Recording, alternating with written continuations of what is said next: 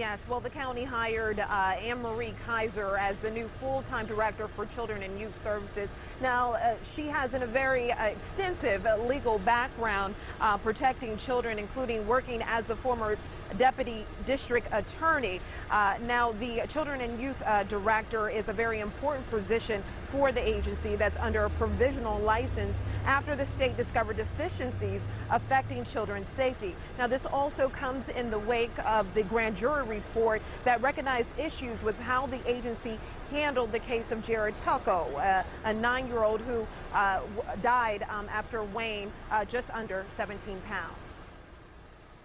I realize that there may not be a lot of people that want to take this task on, but I think I have the experience, the management experience, the government experience, and an understanding of the process that I want to take it on.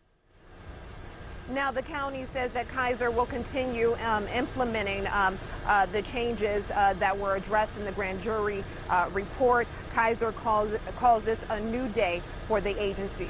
Reporting live in Harrisburg, Portia Johnson, News 8.